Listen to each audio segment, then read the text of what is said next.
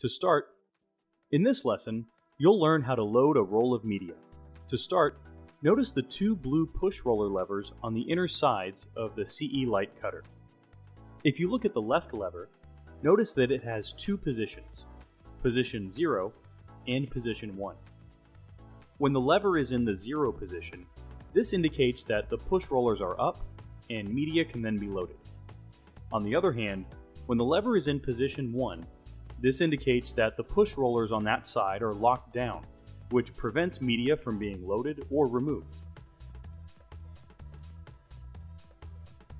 If you look at the right lever, notice that it has four positions, position 0 through position 3, each with their own level of pressure. Position 0 indicates that the right side of the push roller bar is up, allowing for media to be loaded. Positions 1 through 3 indicate that the push roller is locked down on that side, which prevents any media from being loaded or removed. Selecting which position to use depends on the width of the media you are loading. For instance, position 1 is mostly for narrower materials, such as ones that are 8 inches wide. Position 2 would be for medium width materials, such as ones that are 15 inches wide.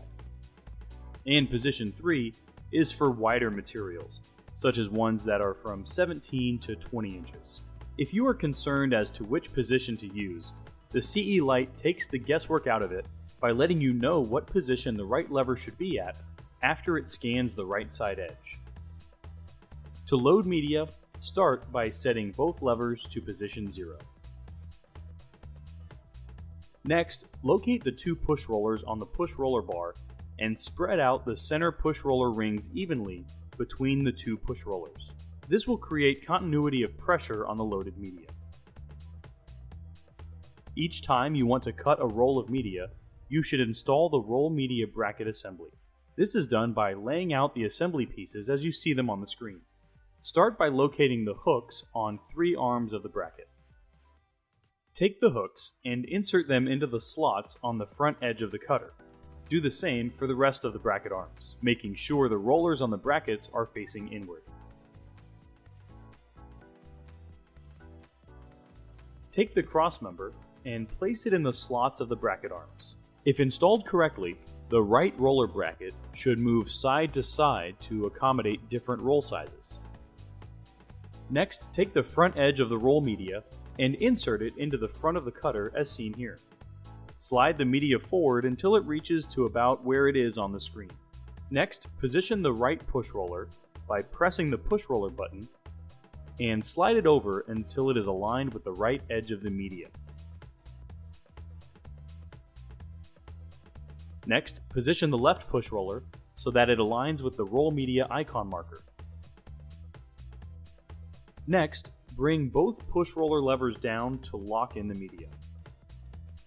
This brings up this menu on the control panel with two choices for roll media, roll start edge and roll current position. Let's first press the roll start edge. This will scan the front edge of the media